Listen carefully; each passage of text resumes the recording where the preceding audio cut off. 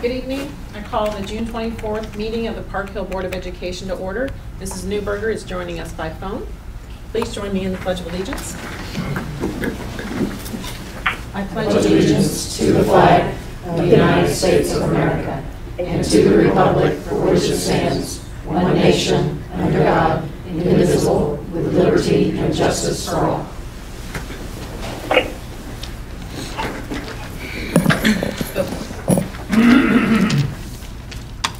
Before I call for announcements, I would like to remind the board of our norms.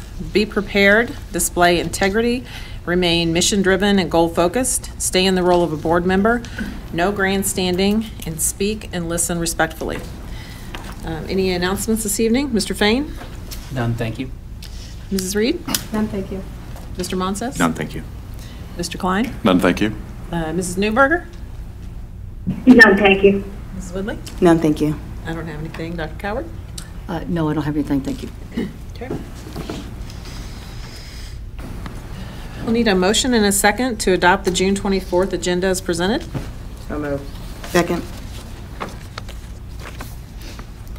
I have a motion from Mrs. Reed and a second by Mrs. Woodley to adopt, adopt the agenda as presented. Dr. Cowherd, are there any modifications? Not the same, but Board, I would remind you that you did get a late email around our transfers uh, from Dr. Kelly, and so those have been updated on the board agenda. Board, do you have any modifications? All those in favor, say aye. Aye. Any opposed? Aye. Nay. Motion carries seven oh.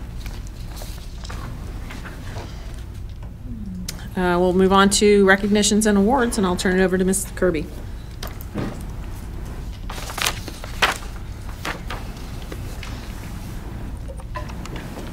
Thank you so much.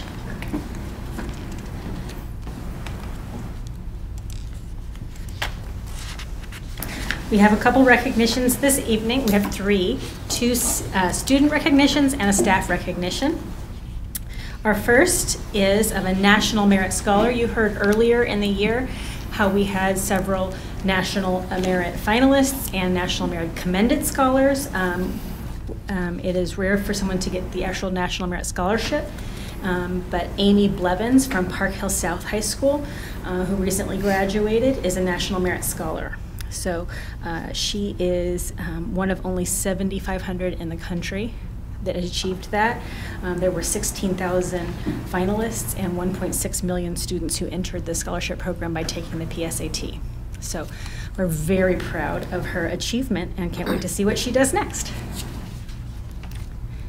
Um, next, um, I would like to recognize um, from Park Hill South High School, Audrey Robinson, who earned the Congress Bundestag Youth Exchange Award.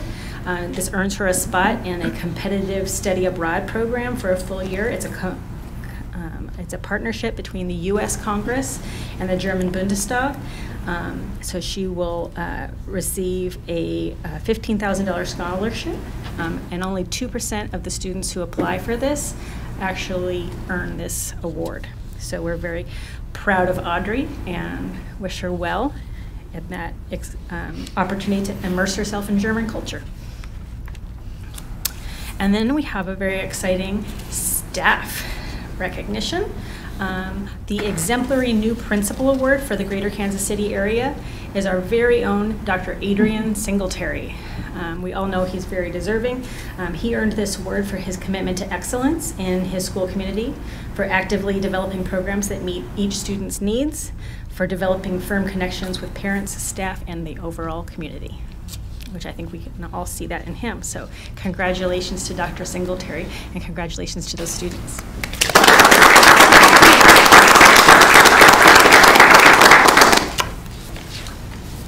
Thank you.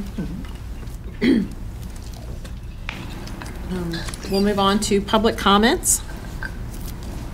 During this part of our agenda, we will receive public comments from patrons attending in person, followed by comments received in writing by the noon deadline today. I understand we didn't have any email comments No today. email today. But we do have one Okay. tonight. There will be a three-minute time limit for individual comments and a 15-minute total time limit for all comments combined. Opal will monitor the time. When called upon by the board president, Patrons are to approach the presenter station, speak into the microphone, and state your name and address before making comments. If a response is appropriate, I will respond or refer to another individual. It should be noted that in an effort to respect privacy, comments should refrain from discussing personal complaints involving individual staff members or students. Go ahead, Hi, I'm Gwen Van Asselt. And did you say my address also? Mm-hmm, please. 4317 Northwest 63rd Terrace, Kansas City, Missouri 64151. I recently read in the board update email that discussion about the need for a 12th elementary school is beginning. As our community begins this process, I ask that the board offer thoughtful leadership and ensure good stewardship of our resources. As many of you probably remember, and archives from Park Hill Listen show, our community is firmly behind economic balance in our schools. Additionally, economic balance has been a redistricting criteria in our school for many years, far before I had school-age children. My oldest child, who was a second grader for the first time when I was involved the first time with a community-wide group here in Park Hill concerned about economic balance in our local schools in Park Hill. He'll graduate from Park Hill South this year. Our community has communicated clearly to each of you. However, we still don't have a policy to define and ensure balance. As a result, in the fall of 2018, each of the final six elementary redistricting scenarios made poverty concentration worse in our district. Following the fall 2018 redistricting process, I came here and I offered a list of considerations. Number five on the list submitted requested a district, district policy on poverty concentration to be used as guidance when school boundaries are drawn. I ask that the board works to create this policy now so it can be established prior to the need for redistricting again. We all know the time to define and set goals is prior to the beginning of a process, not during a process that can become emotional and overly influenced by self-interest. Additionally, I recently read through our district's comprehensive school improvement plan. One A- minute. A policy to ensure economic balance in our school puts actions to words like high expectations, financial sustainability, quality staff, visionary leadership, equity, and integrity. Don't behave like these are fluffy buzzwords. This is your charge. I've brought a copy of the considerations I shared in the fall of 2018, along with a little information about economic balance in schools and the demonstrated need in Park Hill for a policy on economic balance. Feel free to reach out to me if you have more questions. Thank you. If you don't mind taking one of these, Dr. Reddinger, and passing them around. Thank you. Just Thank give you. those to, if you would, just give those to Ms. Hibbs and we'll distribute them afterwards. Thank you. Thank you. Is that all? That was, that's all we had. Okay. We'll move to the consent agenda. This evening's consent agenda includes item, items 5.1 through 5.15. Dr. Cowherd, are there items that need highlighted? Just a couple I would, just in personnel, we do have uh, two of our uh, 219 or 10-month uh, assistant principal hires. Uh, Dr. Shiloh Dutton will be going to Park Hill High School, and Melvin Walker will become the new assistant principal at Park Hill South. And I'd also recognize the retirement of uh, Jennifer Holden. She has been with the district for many, many years. She's in the English department, but she also did our speech and debate. And we're very um, sad to lose her. She is taking a wonderful position in Greenwood uh, in the, in the, with the Missouri State University. So, but we just want to congratulate her too. So, thank you. Board, do you have any questions for Dr. Cowherd? I would need a motion and second to approve consent agenda items 5.1 through 5.15 as presented. So moved. I have a motion for Mr. Klein and a second by Ms. Reed to approve the consent agenda as presented. Any discussion? All those in favor say aye. Aye. Any opposed? say- Aye. Any opposed say nay. Motion carries oh. 7-0. Move on to action items, or further along in action items. Um, 6.2, adoption of Central Bank of Midwest organizational certificates and directive resolutions and addendum. And this is just a yearly thing as we renew our board officers. And so starting July 15th, Mr. Monsis is finishing his uh, term, and uh, Mrs. Reed will start that on July 15th. So this is just to approve and get our paperwork correct. So I'll need a motion and second to adopt the Central Bank of the Midwest Organizational Certification and Directive Resolutions and Addendum and grant authorization for the individual's name to exercise certain powers relative to bank accounts listed on the resolutions. So moved. Second.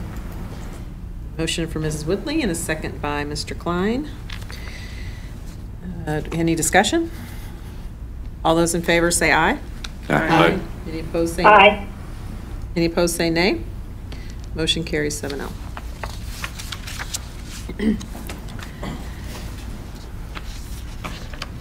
Six point three, approval of the 2020-2021 budget amendments and transfers. I'm going to turn this over to Dr. Kelly. We've been talking about this since August, or since April, and so you've had several uh, presentations on this topic. We'll be talking today about just those amendments and transfers that are required at the end of the year. So, Dr. Kelly, please.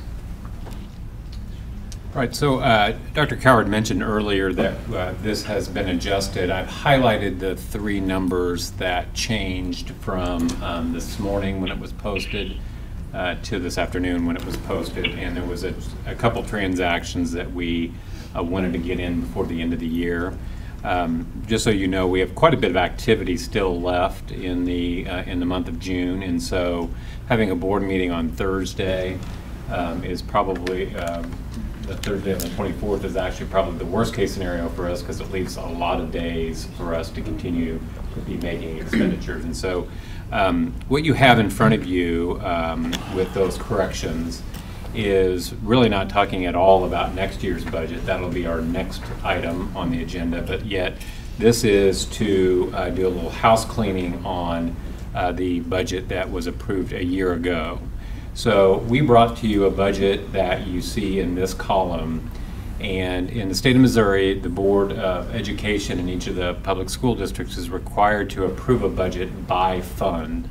In this case, um, we have these listed by what's called sub-funds. So these are uh, buckets of money um, uh, in which we separate, and each one of them has their own requirements and, and, and um, legislation around sort of how those dollars can be utilized, how revenue comes in, and how expenditures can be made from them.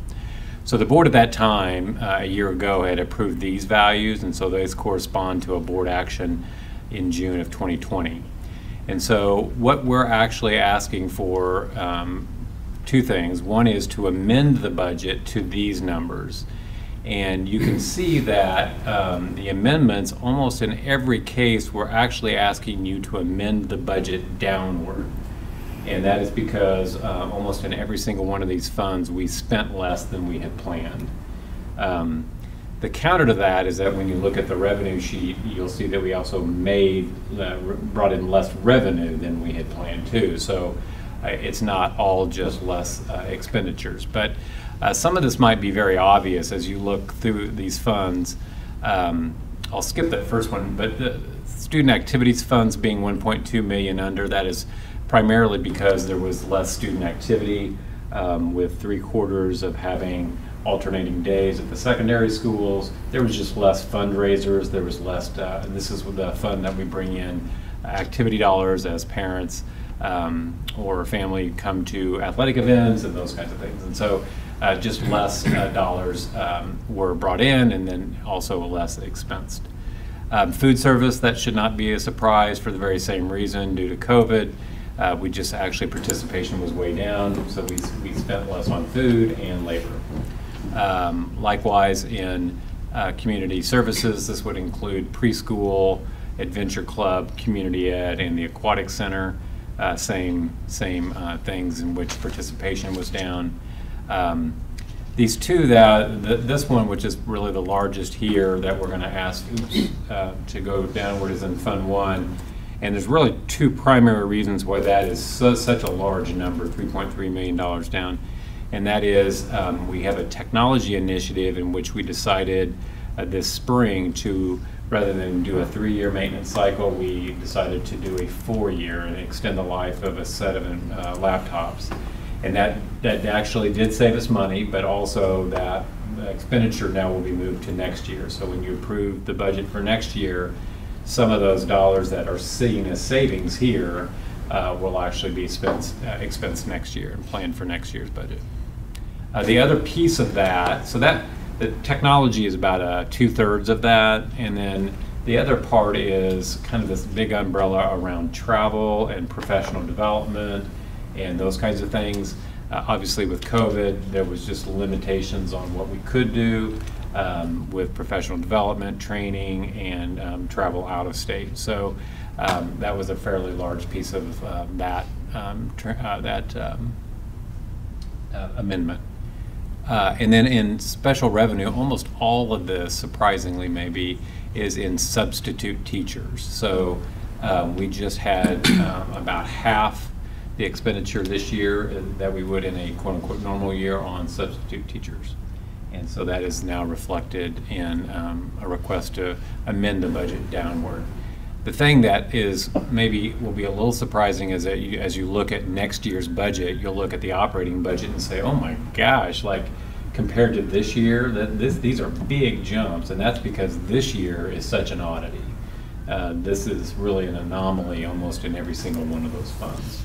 Um, for and COVID is the direct reason for that. Um, you can see debt service is uh, relatively close. That included a, that very large refinance, and so um, we're as, not as much, but we're asking for you also to amend that downward. And then in capital, that actually reflects some projects that we thought we would be able to expense in June, but actually probably won't uh, now until July, which now becomes an expense in next year's budget. The one uh, budget that we're actually asking for you to amend higher than what you originally approved is in bond. And this actually has to do with the fact that we were unable to make expenditures last June that we had anticipated. And so those expenditures occurred in July, and so there was just much more spending in July and August and September than we had anticipated because um, some of those expenditures were delayed from last year. We had anticipated them in last year's budget. So overall, this is technically the first step of what we're asking is the amendment of um, the 2020-2021 budget to these values. The auditor then would, will take these values as your budget and then perform the audit based upon those numbers um, when the auditors start their work this fall. I'm starting to look backwards. So really, these dollars will become uh, obsolete. They will no longer look at those, and the audit will be performed on, on the amended budget. Um, This next table is really more for information purposes, and really it is, there's no new information. Debt and bond are extracted, and so you can see this is what would be just operating. So these numbers should be exactly the same as above, with the exception that debt and bond are pulled out. And so this is a picture of operating. This is really more, like I said, more for information purposes because the action is really more oriented around this column right here in terms of amending the budget. This whole next page is really just giving you a snapshot on revenue. Um, in Missouri, you are not asked as a board to approve a revenue budget, but certainly you would want to see a revenue budget uh, just to make sure that you have money uh, to approve the uh, expenditure budget. But so there is no formal action on this tonight, so this is for information purposes only, and so we're not asking for any amendment to this. Uh, but this does show you a, a, a bit of what we expect our performance to budget to be. A couple things maybe of note. This operating um, number is a little high higher and the primary purpose of that or the reason for that that that happened was that you might remember in um, the fall august of last year we moved some money out of debt service levy because the hancock amendment allowed us to roll our operating up our operating levy. So the board had approved um, kind of the expectation of this amount and then we did made a lot of changes to the um, tax levy in august. And i suspect we will do that again this august uh, but that's maybe a conversation for the next board item. But um, anyway, so that we actually were able to pull more in. You see, we did not um, make uh, what we had anticipated here in um, capital. And so we were pretty significantly under there in revenue. And so really the net effect, those are the two operating funds that we have tax levies in. So the net effect there is that um, you know, we, we had brought in about 2 million and primarily that is in current tax. Um, the other effect was that debt service is significantly under. We had expected um, to have a larger uh, levy in it, but we actually moved some of it out and were able to put it into capital and um, operating. And so you can see that we did not meet our expectation in revenue here. And so um, that is why um, you can see a, a smaller number there. Um, you know, the others, um, you know, the CARES money really did satisfy much of this. I think really the one thing that does stand out for me, I don't know if you took note of it, but in food service, I think there's been a question that when, uh, you know, a year ago when the federal government announced that they would take on the expenditures of all school lunches about what impact that would have on our lunch program. Would that cause us to have a, a loss in money? Uh, would that be, uh, would that be a way for us to make money in the food service program? Um, just from a phys- on a fiscal basis, you see that we expect to receive 4.9 million dollars in revenue. If I can kind of roll up here and show you what um, we expect in expenditures, we're at five, and so that's great, actually. Um, and so that is uh, relatively close. I mean, every year it's it, it, it we don't typically get that close. I might be even a little conservative on this, but I, I think it would be safe to say, just based upon these numbers, that that was not a net negative for our school lunch program, despite the fact that we served quite a bit fewer lunches. Uh, Participation was down. Also, and I don't know that this had to do with COVID, but just, or indirectly with COVID, but our, we had a really hard time filling positions at our nutrition services department, and so our labor costs were not as high as we had anticipated. And so that also kept our expenditures lower than, than they normally would have been. So that's um, kind of a snapshot of, of, of revenue. Again, this is operating. Um, Again, same values, but uh, just pull out debt service and um, bond. The other piece of the recommendation tonight is this, this fund transfer. And so um, this strange number right here is actually a calculation uh, from the state of Missouri. And so one of, there's many transfers, but one of the, um, one of the transfers that the, the um, state allows is this one that they've entitled greater of 162,326 or 7% times SAT times prior year WADA. So they could work on the title of it, but it is, kind of gives you a glimpse that it's a formula based upon um, on, on your, um, the state adequacy target and your attendance from the prior year. And so every school district obviously would have a different value, but you're able to pull money out of Fund One, where most districts bring in most of their money, and move that money down into um, Fund Four. So basically, we'll pull some of this money that we received and actually just do a transfer here at the end of the year. And the reason why you would do that is so that you can make some, um, you can make some uh, numbers and, and metrics and targets around fund balances. And so in Park Hill, we are always looking at our operating fund balance and our capital fund balance. And so with that transfer in place, if the transfer wasn't able to be made, we would end up with far more money in Fund One than, and we would be above the 22% threshold. Uh, But with the transfer, and and then we would be far lower, we would be $5 million less here, and we would be outside of our range. And so that, without that transfer, we would not hit either one of these targets. This number would be way too high, and this number would be low, too low for Park Hill standards. And so we're using the transfer to get both of those within the ranges that we've adopted. So we are asking uh, for your approval tonight on, on this first action, which is to amend the budget to these values for 2020, 2021, and to approve a transfer up to uh, $5.145 million uh, from Fund 1 to Fund 4.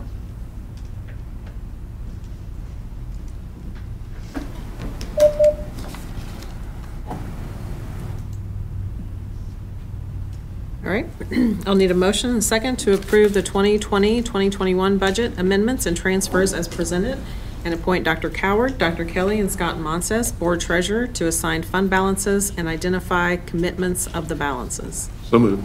Second. A motion for Mr. Klein and a second by Ms. Reed. Is there any discussion? All those in favor say aye. Aye. aye. Ms. Mrs. Newberger.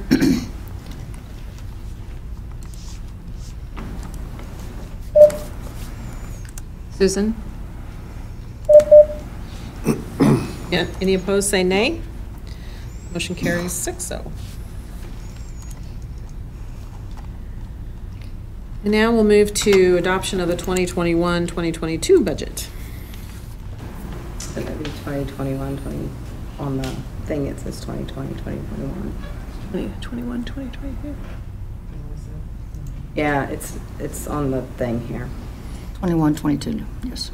20, Yeah, 21, our 22. tab is wrong. All right, um, so this is, um, these are the values that we're asking for you to approve uh, in each one of the funds. And so, like I said in the last item, boards in the state of Missouri approve a budget by fund. So the, um, you can see here that each one, I've listed each one of these funds, um, you know, to the dollar, and this will serve as the basis, kind of as our spending plan for next year.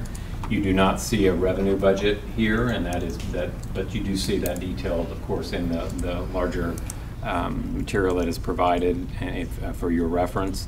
And of course, there's all kinds of uh, other information in the budget manual. We write that according to a set of national standards. Um, The uh, Association of School Business Officials Meritorious Budget Award uh, standards.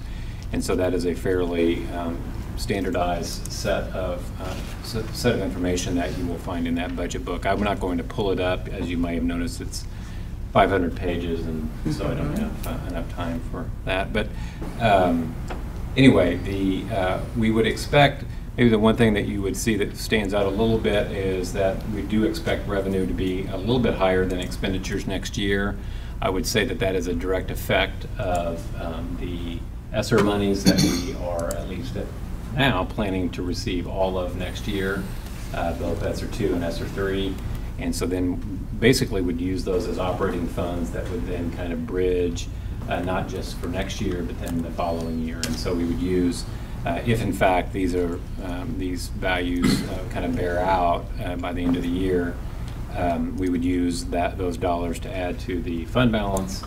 um, And we would, and of course, utilize those dollars in, in the years following. None of these uh, are substantially different than what we've shown you in, at the end of May, and then again, last, uh, at the last meeting. These are fairly consistent. We've obviously made some tweaks um, over the last couple of weeks, but nothing substantial um, from what you've seen in prior presentations.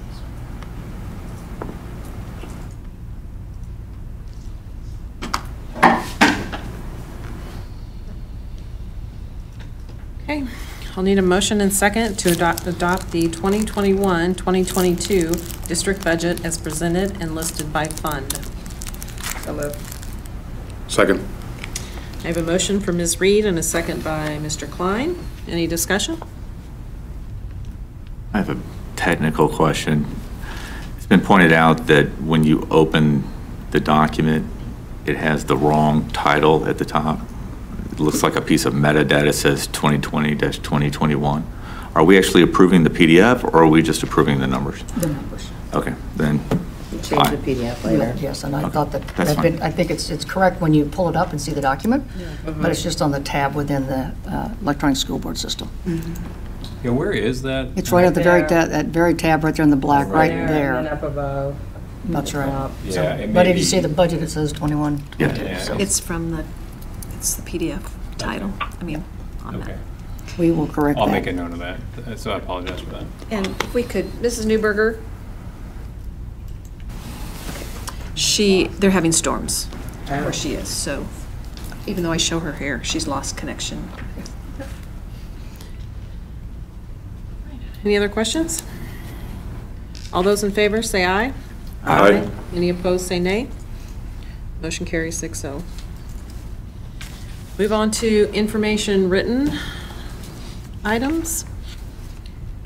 Items 7.1 through 7.3 are bids, contracts, agreement, and item 7.4 is capital planning guiding principles.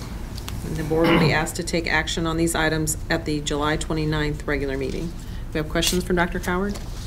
And if you would to, on this 7.4, on the capital planning guiding principles, we did have some requests at the last meeting uh, regarding tax levies and tax, where we are on that tax piece. So I've asked Dr. Kelly to pull that up for us, please, and we're going to share that with you first.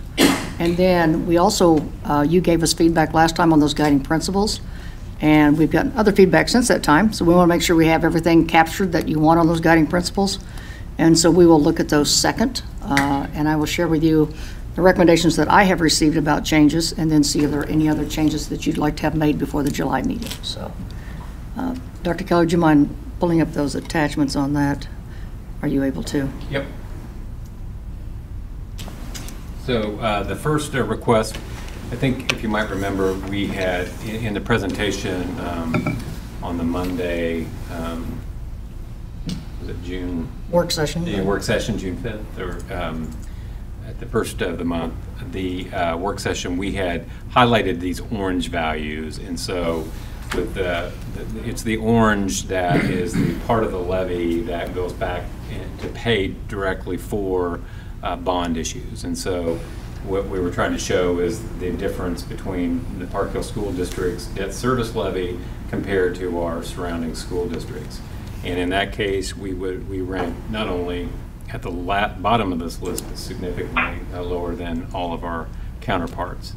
Uh, the request then was to look at the total tax rate, and so this then incorporates the operating tax of each school district. In that case, then you can see that we rank um, 10th out of 12 of the same 12 school districts um, in the total tax rate. And so you can kind of see how those are separated out. So we- we're very much more um, heavily uh, proportionately uh, within our operating tax rate um, is represented here.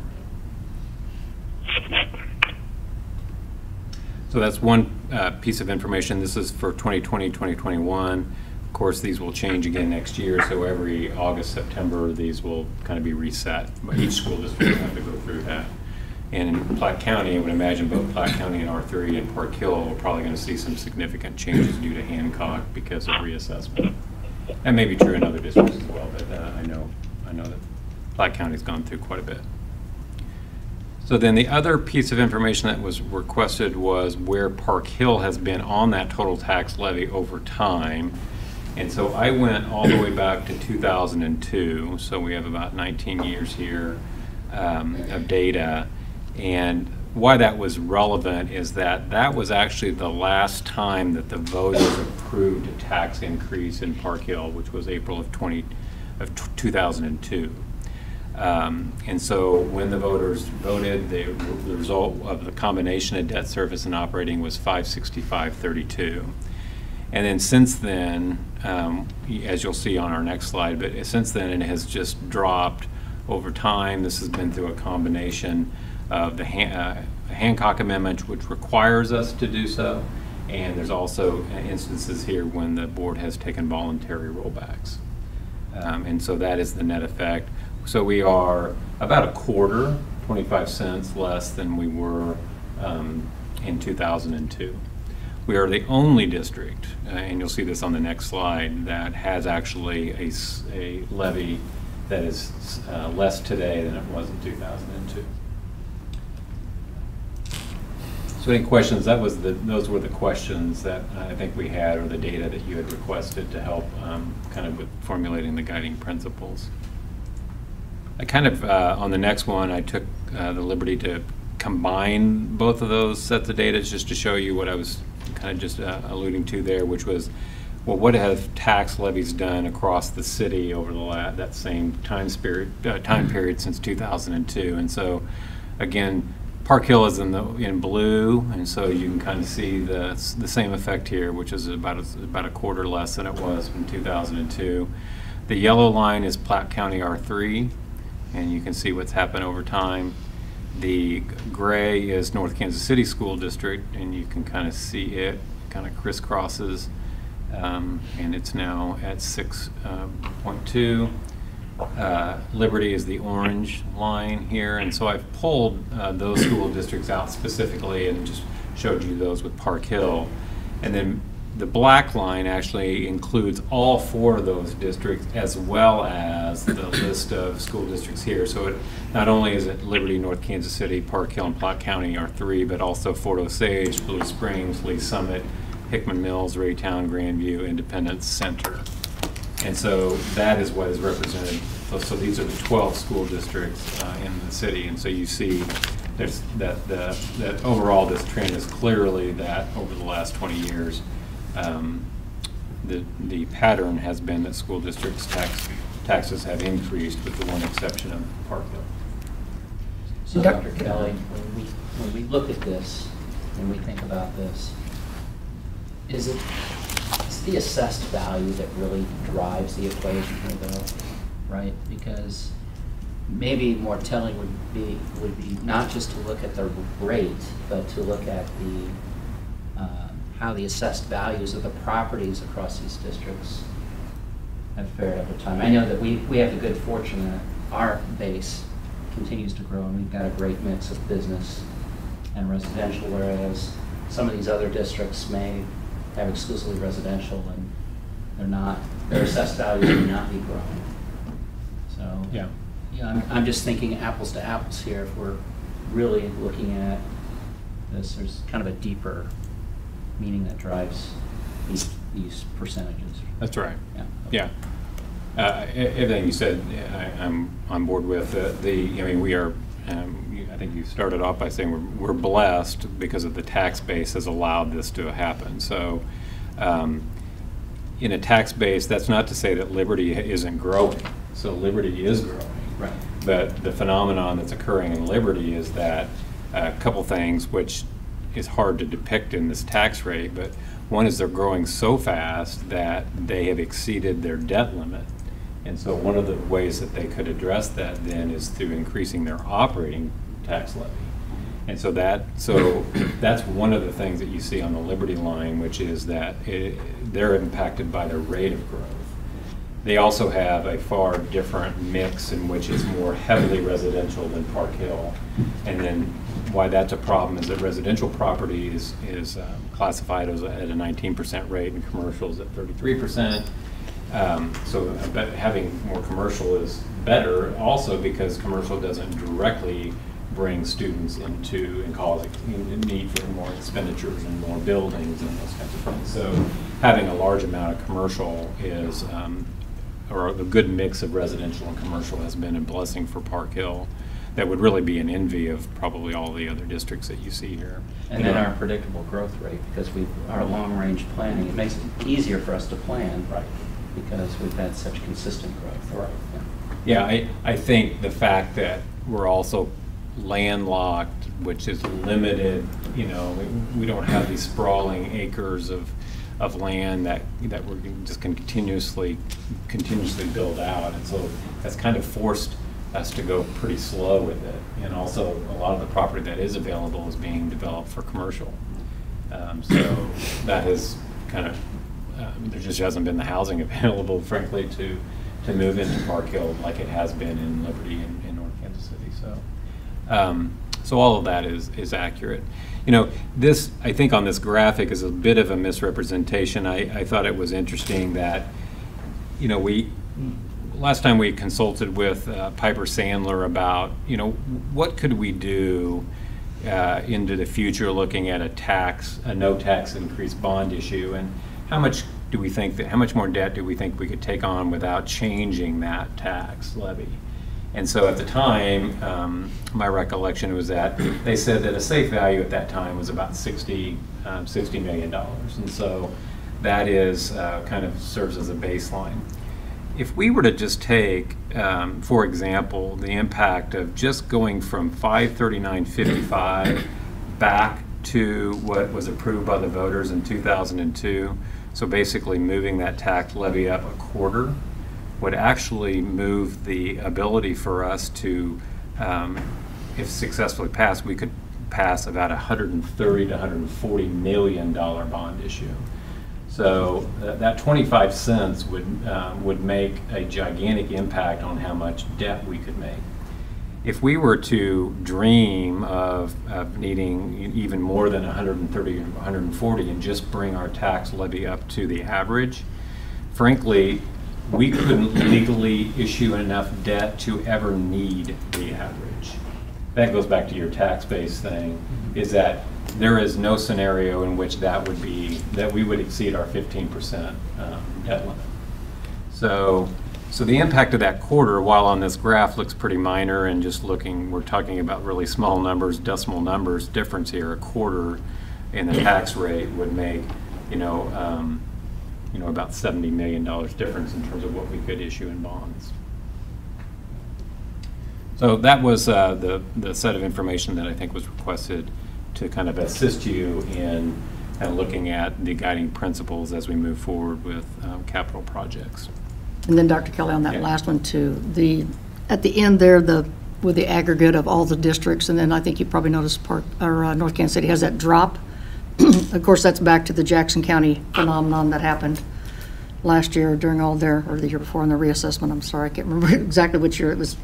2019. 2019 that went into that one, uh, that plays into that. And I think the other part that's, that we'll be talking about as we get our tax information at the end of July, first part of August, is when we talk about Hancock Amendment, uh, that understanding that the school districts cannot benefit from that. We cannot get those windfalls, and that's why you see those rollbacks and those things. So we have to stay, we have to stay where we are. And I think that's, that's a part of a, a communication piece that we'll work on with our communities, because if, if I'm seeing my assessed valuation continue to go up, my assumption is you must be getting a lot more money. And so that's why those things change. Is there more because of growth? Yes. Yes, but is there more as far as levies and those types of things? So we want to, we want to be careful about how we talk about that and uh, make sure that we articulate that. I think that's interesting, and going back to what Todd said as well, because um, you do hear that complaint that even though our tax rate is low, we pay more taxes because our assessment is higher, but I always think, well, part of the reason your home is worth more is because of the school district in Park Hills. So it's kind of, uh, I want to say circular reasoning, but it's uh, very related. The other piece that plays into us, and actually Mr. Monson and I had some conversation about this, there's other taxing jurisdictions, the city of Kansas City versus the city of Riverside versus versus Parkville. So because we have so many different municipalities in our community too, also gives just different rates and different, just different levels for everyone. And so it really does depend on which part of our district you live in. I- I- There's still other, other Like, taxing yeah, jurisdictions that are happening that are playing into that. And so, you know, the Kansas City earnings tax, if you, for example, worked at Parkville South and didn't live in the Kansas City but lived in Parkville, you wouldn't pay the Kansas City earnings tax. But, and so it's just weird how those things play out for us. And so we just have all those different pieces that we have to play with there too, so. Olin, um, we're having some technology difficulty, and our slides have not been showing to the public. And so they asked me to just announce that we will edit the live stream and get those slides up. But I, we believe we had a system go down. Thank you, Thank you, Dr. Gill. Any questions about that? We just wanted to answer, respond to that, and just, uh, as we continue to learn more, we'll just, uh, we'll share and continue to learn. I think that's, for me, it's just, this is a long process that we're in, and so making sure that we have all the information that we have would be the best. So, okay. Thank you, Dr. Kelly. If we could go to the uh, capital planning guiding principles um, that are posted, apparently we'll be able to see them here, and I apologize if they can't, they'll be posted for you soon. We did have a couple of updates for you, and so I just want to highlight the ones that we had comments on last time and changes we made. So the first one was actually on number three.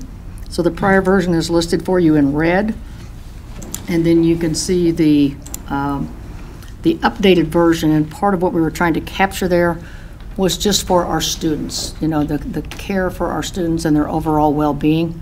And so that was really is what we were trying to capture on that. I, I hope we did that, but if we missed it, please, please let us know. Is there any changes that you'd like to see to that, or does that meet the board's wishes?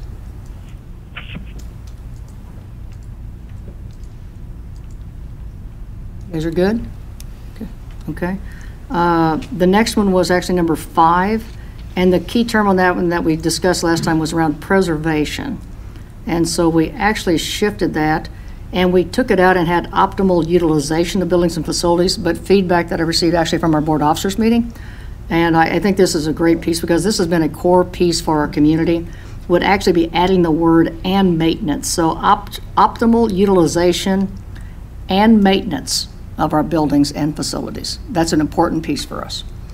And so if the board's, with the board's, if that's the board's pleasure, uh, we would recommend adding maintenance into that. What are your thoughts on that? Does that work?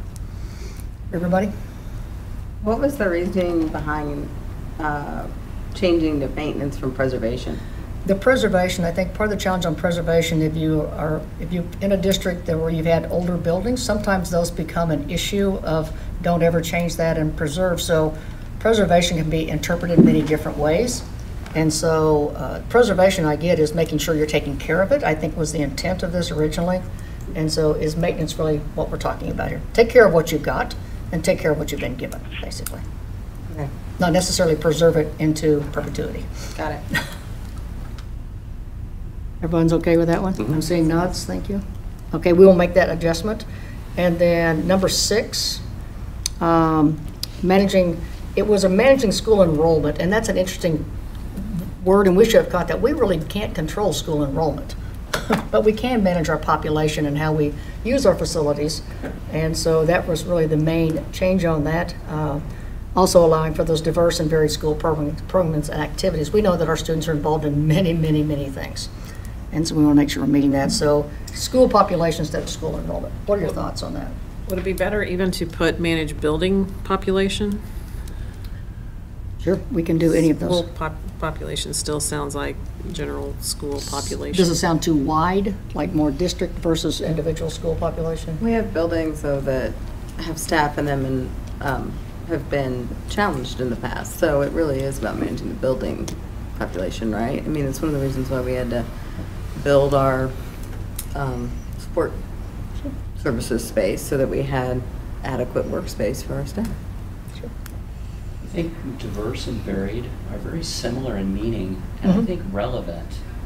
I think curriculums need to change fast because I think, you know, I, I think of how fast the workplace is changing. And I know that we're very focused on career and college readiness.